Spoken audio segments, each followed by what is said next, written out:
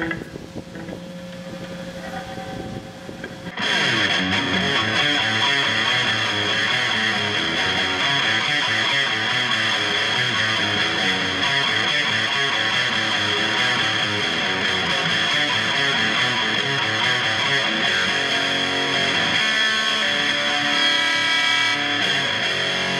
tubers, welcome to my crazy train.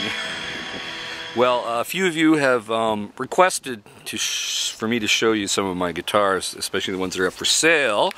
Now I was out uh, doing a little jamming with uh, one awesome inch last night in New West. I'll close this video out with it. it uh, the sound quality isn't the best, but hey, you get the idea. But uh, I dragged one of my American Strats out yesterday and I got it here and I was just uh, playing it on my line 6 did a little quick run through of uh, some crazy train. Uh, but anyway here it is.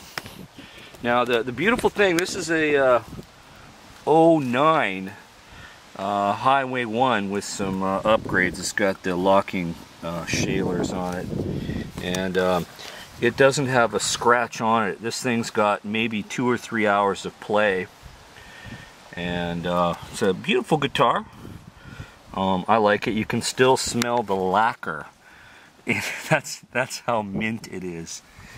So this is one of the babies. I've got a few of these uh, strats that gotta go.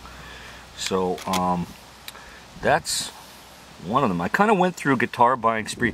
I felt a bit embarrassed last night because a few people asked me what kind of guitars I got for for you know in storage and for sale. And I don't even know because I went through a buying spree and I can't even remember what I got and some of them are deep in my storage locker so I uh, don't remember the brand names because I went a little buy, buying crazy.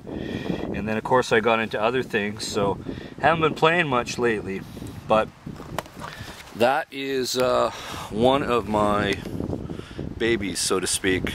So hey if you're in the Pacific Northwest and you're in the market for a, a good deal on a uh, Mint 09 Highway 1. I'm your guy. I'm not really on YouTube to sell stuff, but uh, I just figured I would amuse you and uh, show you a guitar. In the meantime, folks, stay safe, keep your wheels on the ground. I will talk to you soon. Bye-bye.